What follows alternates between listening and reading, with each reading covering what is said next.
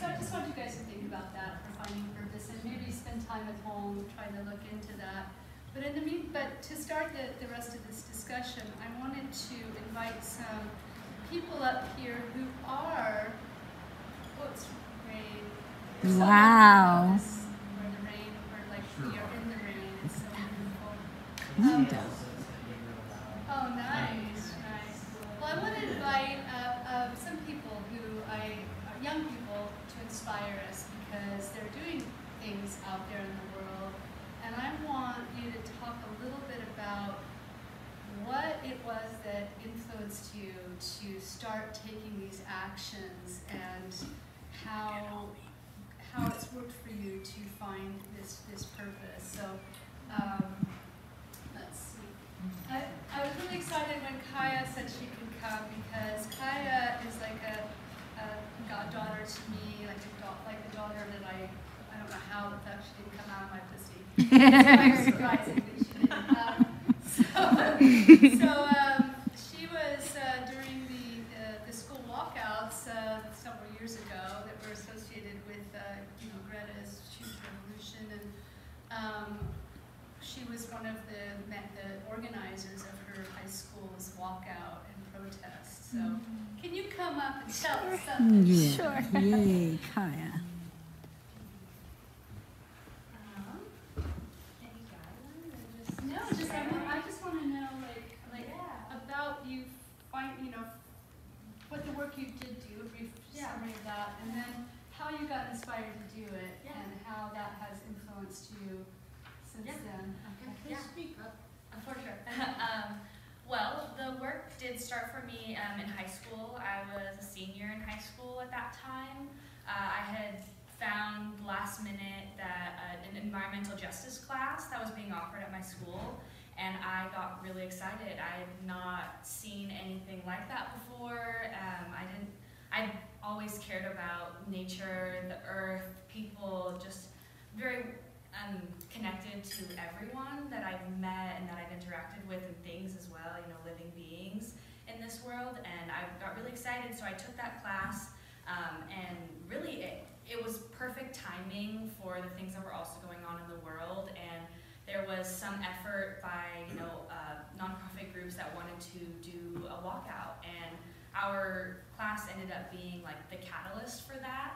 Um, and we were just able to really like do a lot of organizing during class time. They would let us go out, talk to other students, talk to teachers, get all of our like people on, involved, make posters. We would plan with nonprofit event, um, nonprofit organizations to get art supplies and to use church spaces so that we could, you know, have a place to talk about our feelings and what was driving us to do this uh, this effort.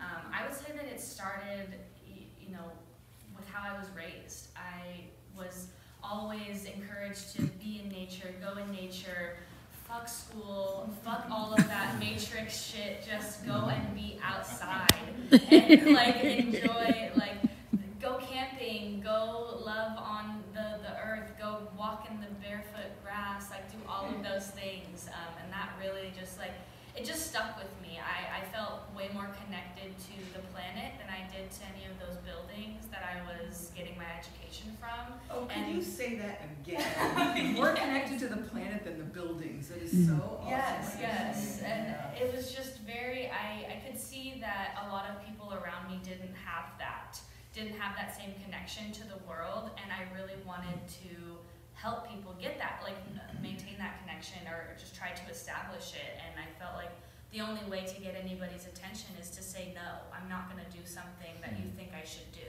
And I'm not going to, to continue to put myself in a place where I'm getting my education because you guys don't give a shit about what happens after I leave. Um, And I need you to care. I need you to, to understand that if I leave this school, I'm still gonna have to deal with all these issues that are like not even, I didn't create them. I didn't create this, the climate change, I didn't create the corporations and the greed, but I still have to deal with that. And, and nobody, nobody listens to children, uh, or youth, or whatever you want to call them, but we are the ones clo- closest to source in some way.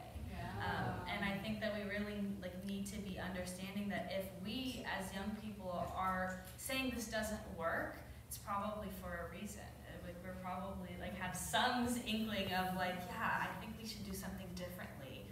Um, and I mean, Omi, who's here with me today, honestly, like was the, my biggest supporter for all of that. And she was like, yes, do it. Like miss school, don't get don't go to class, make more connections. Like let's go out into nature. She's always trying to get me to go on a damn walk. And I and for a moment and, and prior to my senior year, I was like, no, I don't want that. I, I, I feel stuck. And I, I kept feeling stuck over and over again, but I realized that the only way to unstick, unstick myself was to kind of also put my foot down and be like, I don't want to do what everyone is telling me to do. I don't want to just keep living and going to sleep and eating and doing all my homework and doing all these things because there's no like uh, there's no purpose really. It felt really meaningless and when the class came about in my life, I was like, this is a purpose. This is a reason to go to school, make those connections, connect with outside groups, and really just like build a community that gives a shit about mm. anything other than their day-to-day lives. Mm. And that was really important to me. So. And then you were on the news. Yeah, I was on the news for a bit. We, we happened, I mean, I went to Lincoln High School in, you know, upper echelon of Portland, so we had a lot of resources. And right next to our campus was like KOIN 6 News. So we convinced, we called them and we're like, hey, we're doing a big strike. Do you want to cover this? And they said, yeah. So we went over there and we got on the news, made sure everybody knew about it. And yeah, we walked from like, if you guys are familiar with Portland area, we walked from Lincoln High School all the way to Benson High School, oh, which is like pretty fucking far for a bunch of high schoolers to walk by themselves. Um, and so that was, it drew major attention. And then we continued to, you know, continue our efforts and make sure that everybody was being heard and our and after that, you know, we continued to plan other little events that didn't get as much attraction, but the effort and the love was still there, and I made so many big friends from that. So it was really I gotta give a shout out to her lovely mommy, who is Yes. just the most wild and and spiritually, you know, con- con- she's like so connected to source and wild and free and Yeah. Yeah, my parents definitely had a, a big impact on my my uh, giving a shitness. Um, they were very uh, like, yeah, you need to you need to give a shit about things that aren't gonna, you know, like that aren't lifeless. You know, I think a lot of the time we go into the city and we see a lot of things that don't actually feel like they have life and breathing through them.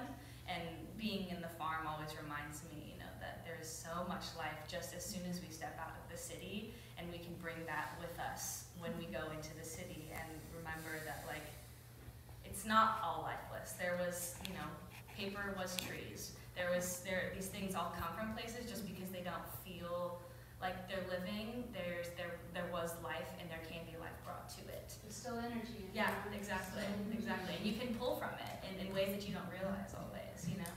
So are you now in your life finding um, ways to use your energy? Yeah, yeah, yeah. Um, so I'm in college now. Um, I go to PSU and I'm my junior year now, and I've realized that it is really easy to get sucked back into the matrix and get like just really stuck in having to pay your bills, go to work, go to school, do all those things. Um, and so I found that the best way to give my energy back to myself is to grow my plants at home. I grow my sprouts, grow my plants at home, like put my green onions in water and then do that and propagate my avocado leaves and or avocado seeds and all things like that. And that has made me really, really happy and understanding because I give uh, so many shits about food and our food system. Um, and I, I think it desperately needs a change. And so a lot of my, my studies and my efforts have been to understand where our food system is now, where the most help is needed, so that that's where I can kind of try to push myself towards after my degree. Um, and that's the energy I want to. This is a great segue. Exactly. Yay! Yay! Yay, Kaiya.